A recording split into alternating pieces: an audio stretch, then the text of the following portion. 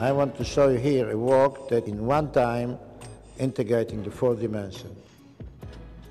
If you look, one dimension is a line. A line of only a length. And here I use the simplest form possible, the circle.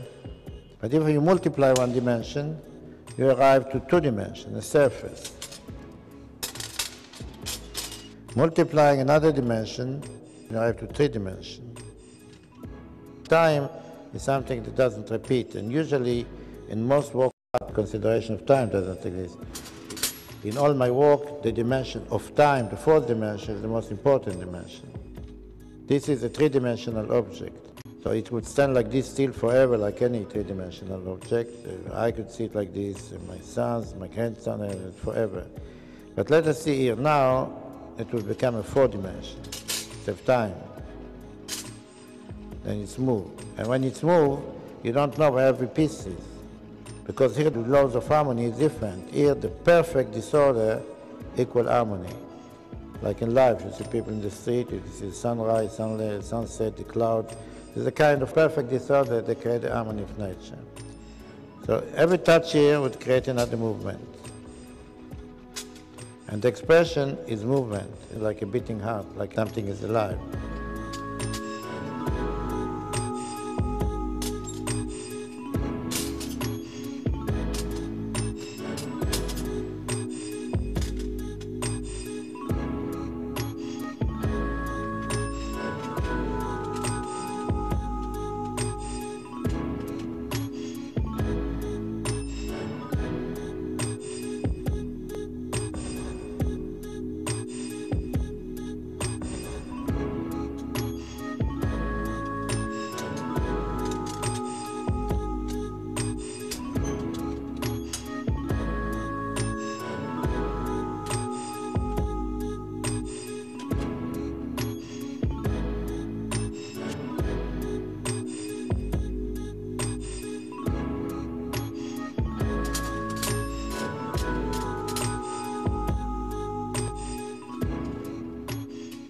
The number of permutations are infinite.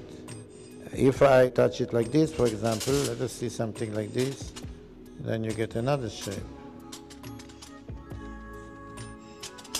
How would we consider it? How would look at it? How would remember it?